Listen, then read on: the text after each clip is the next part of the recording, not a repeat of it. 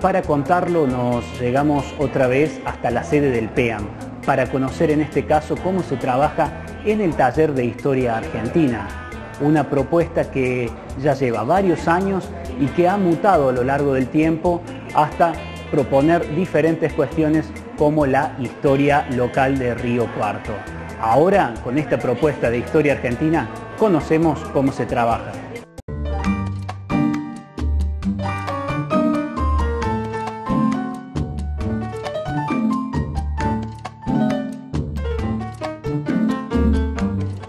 Estamos en la sede del PEAM con la presencia de Eduardo Hurtado, docente de este taller de Historia Argentina. Eduardo, gracias por el tiempo. ¿Cómo estás? por favor, bien. Y comentanos de qué se trata este taller.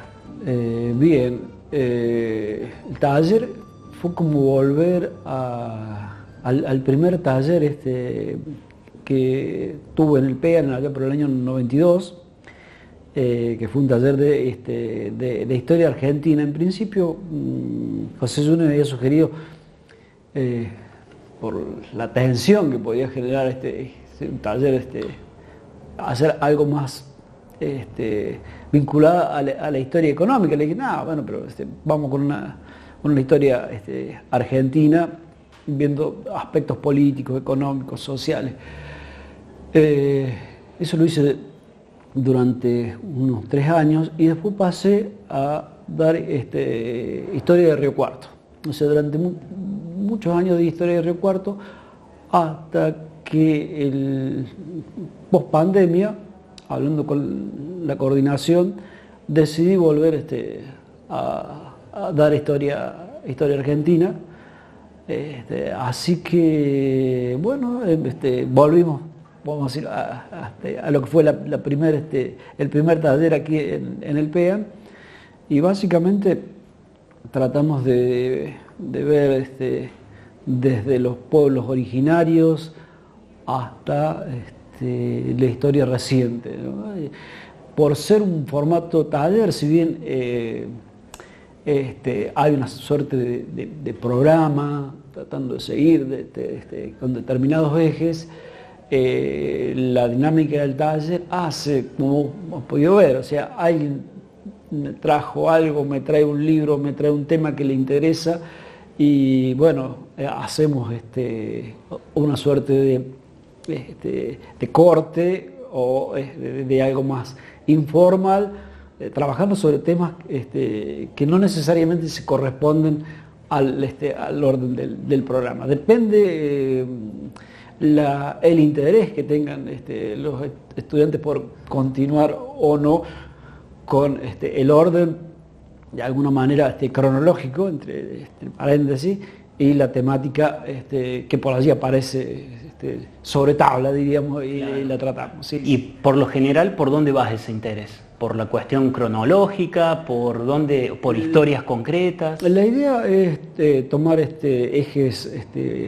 políticos y por supuesto, hay una, creo, ventaja eh, que también a veces se vuelve, no una dificultad, pero sí una, complejidad, en el sentido de que por este, su historia personal, por experiencia, son personas que tienen algún conocimiento histórico y que por supuesto eh, ahí es donde aparece la eh, principal tarea mía, decir, eh, si vienen a escuchar eh, un relato que les fortalezca o eh, un relato que les sea agradable este, y concuerde con lo que ustedes piensan, el taller no les sirve.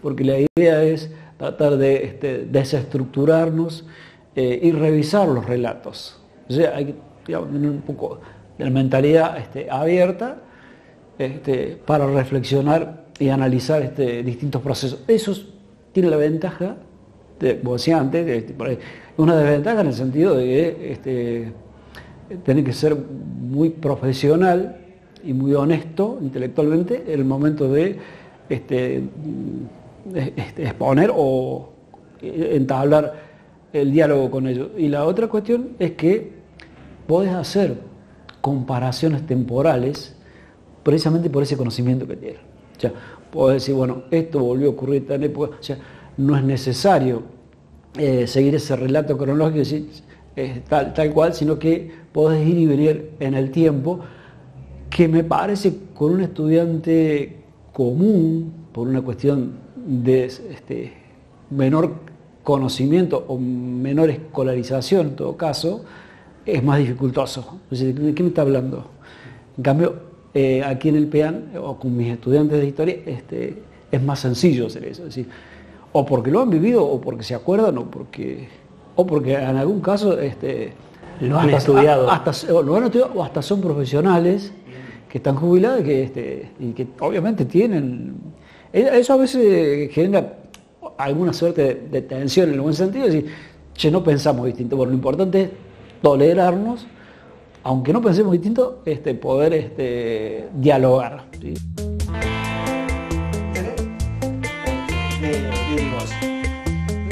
todas formas, los conservadores, a través de la prensa, cuestionan seriamente esta situación. ¿Dónde está el gobierno? Yo soy Silvia Nicoletti, estamos en el curso de Historia Argentina del PEAM, este, que hace ya dos años este, que se está dando este curso de Historia Argentina, porque antes veníamos de un curso de Historia de la ciudad de Río Cuarto, que fue también muy interesante. Yo ingresé allí, hará unos cinco años más o menos, cuando me jubilé. Hay gente que tiene muchísima más trayectoria que yo en el ámbito de este curso. Realmente me, interesó mucho saber este, qué había sido el Río Cuarto desde, desde sus orígenes y qué es lo que acontece en la actualidad por eso me resultó muy interesante el curso. Lástima que, por supuesto, que como venía de muchos años atrás, este, ya como que se había agotado el tema y entonces a partir de eso el profesor propuso este curso de historia argentina que a mí me entusiasmó mucho por los ejes que él propone, porque no es la historia este, lineal, sino a partir de ciertos ejes que se va constituyendo el, el programa y la, dialéctica en las charlas, en el taller, que me parece que es mucho más interesante. ¿Y cuál es el eje que hasta ahora te gustó más, te cautivó más? Las relaciones de poder en los distintos momentos de la historia, que tal vez no esté diagramado como relaciones de poder, pero sí este, uno puede vincularlos a partir también de la pregunta de varios de los este, participantes del curso, bueno, ¿qué intereses se movieron desde a lo largo de la historia de Argentina eh, en distintos momentos? Que eso a mí me parece que es muy interesante considerarlo más que la historia lineal y quiénes fueron los héroes y quiénes fueron los distintos participantes de esa historia. Considerando la subjetividad de cada estudiante de este taller, la historia, el estudio de cada uno, eh, ¿Se dan tensiones, se dan discusiones? Y sí, sí, obviamente, porque cada uno de nosotros tiene su propia historia, su propia ideología, su propia forma de mirar la vida. Este, hay gente que participa en este curso que viene de familias muy tradicionales de acá del Río Cuarto que tienen una mirada. Hay mucha gente también que viene de afuera que también este, tienen otra mirada. Entonces, a mí me parece que eso hace muy interesante el debate, la discusión, y en eso me parece que es muy importante la habilidad que tiene el profesor de cómo ir equilibrando los tantos como para que este, no se produzcan discusiones muy intensas que en realidad no conducen a nada más que generar más tensiones, porque con la edad promedio que tenemos en el curso nadie va a modificar su posicionamiento, este, sino fundamentalmente exponer nuestras ideas.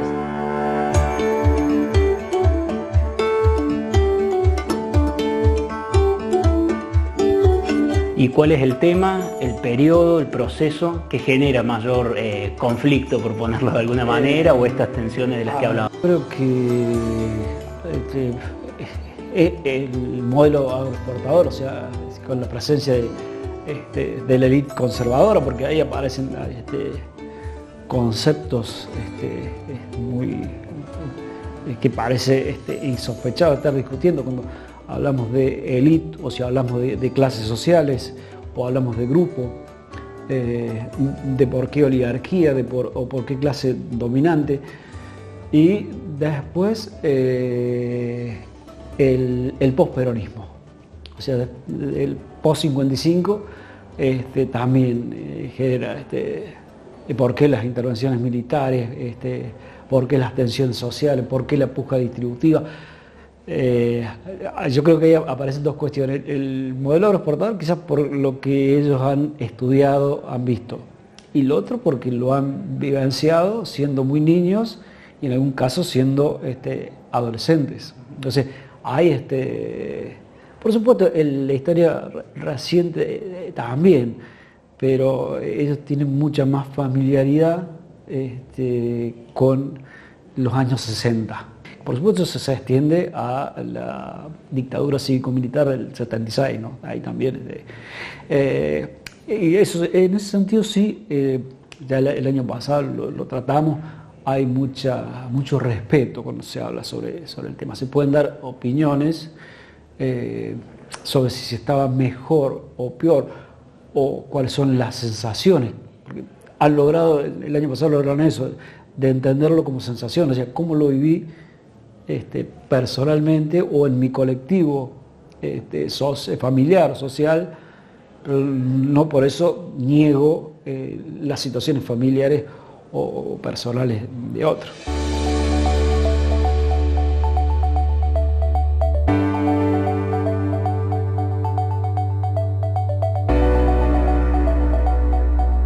Yo creo que tiene un valor importantísimo en el sentido que permite eh, la integración de un grupo etario que es cada vez mayor y que se extiende cada vez más en el tiempo, con buena calidad de vida, que también esa es otra cuestión importante, y que siente que llegó el momento de jubilarse y que queda como aislado de su contexto social en el cual estaba inserto y que le daba de alguna manera este, una identidad este, en el trabajo, en, los lugares donde tenía este, sus actividades.